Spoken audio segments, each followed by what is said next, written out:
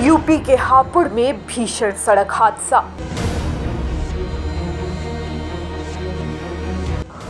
Delhi Lucknow expressway पर car सवार छह लोगों की मौत।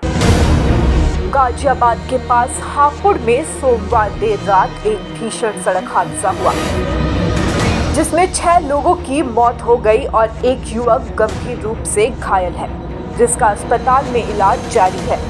गाड़ी में कुल सात लोग सवार थे। मरने वाले सभी गाजियाबाद के लोनी इलाके के रहने वाले थे। बताया जा रहा है कि तेज रफ्तार एक्सेल सिक्स कार का टायर फटने की वजह से गाड़ी डिवाइडर तोड़कर दूसरी तरफ़ पहुँच गई, जिसके बाद सामने से आ रहे तेज रफ्तार ट्रक ने गाड़ी को टक्कर मार दी और काफ़ी दूर तक घसीटती हुई ले गई।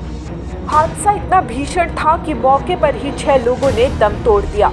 और गाड़ी पूरी तरह से क्षतिग्रस्त हो गई।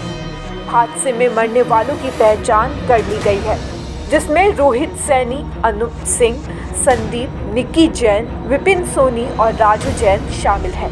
पुलिस ने सभी मृतकों के शवों को कब्जे में लेकर पोस्टमार्टम के लिए भेज दिया है और मामले की जाँच की जा रही है। इस घटना के बाद हाईवे पर जाम लग गया था, जिससे आने जाने वालों को भारी दिक्कतों का सामना करना पड़ा।